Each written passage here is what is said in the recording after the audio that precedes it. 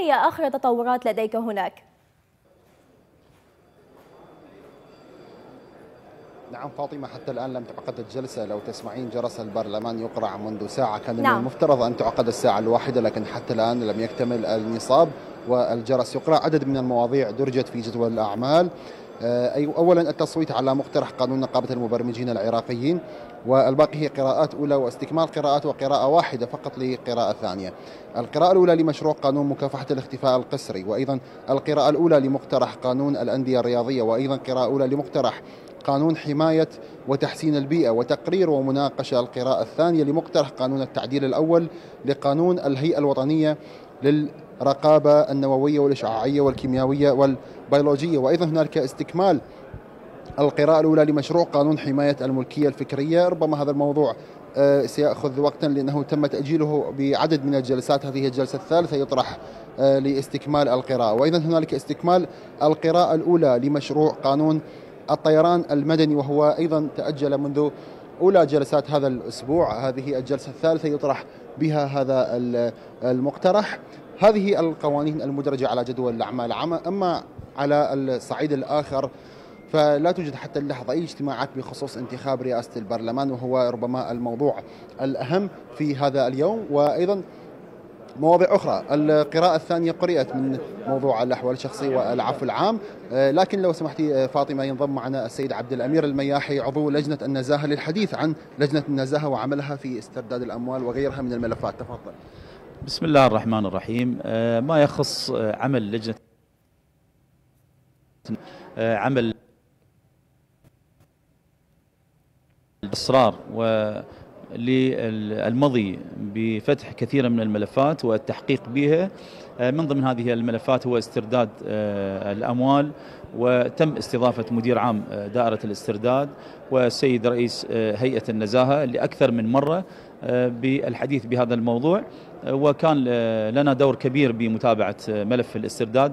مؤخرا تم استرداد يعني قسم من الأموال لبعض ال- الأشخاص اللي قاموا بوضعها خارج ال- العراق.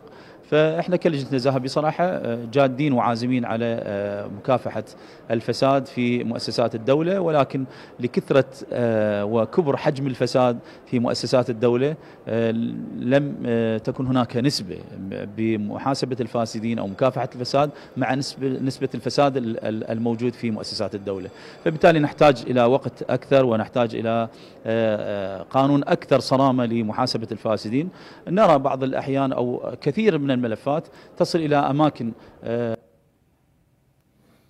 المختصة بمكافحة الفساد أو محاسبة الفاسدين ولم ترى النور أو لم تظهر إلى آه، إلى لنهاية هذه الملفات. آه، ونحن كلجنة اللي علينا هو نجمع الوثائق ونقوم باستضافة المعني بالموضوع بحسب الوثائق اللي متوفرة لدينا. ونقوم بالاستماع إلى آه، نضع أسئلة ونستمع إلى الأجوبة ويكون لدينا تقرير نهائي لهذه الأجوبة ويرفع إلى القضاء أو إلى الدعاء العام آه، أو إلى هيئة النزاهة للإجراءات القانونية بحق المخالف هل هناك تعاون ما بين الأطراف الأخرى مجلس القضاء وأيضا الحكومة العراقية بخصوص ملفات النزاهة؟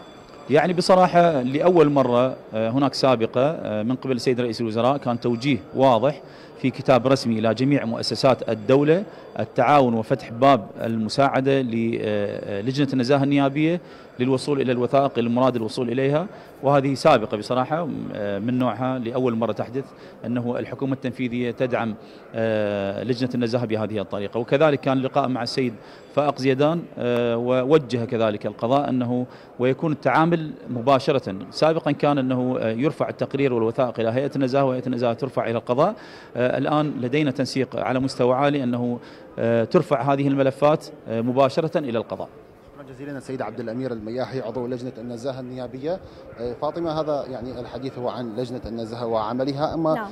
بخصوص الأمور الأخرى سأسترسل لك بما بدأت به قبل سياده النائب. الحديث عن القراءات للعفو العام وأيضا المقترح تعديل الأحوال الشخصية. هناك اتفاقات وهناك آه، يعني مضي خاصة في موضوع العفو العام لكن هنالك بعض الاعتراضات لتحديد آه، من هم المشمولين بالعفو. هناك اعتراضات على إن كان هنالك آه، شمول لموضوع من لديه حكم بالنزاهة أو حتى بالإرهاب.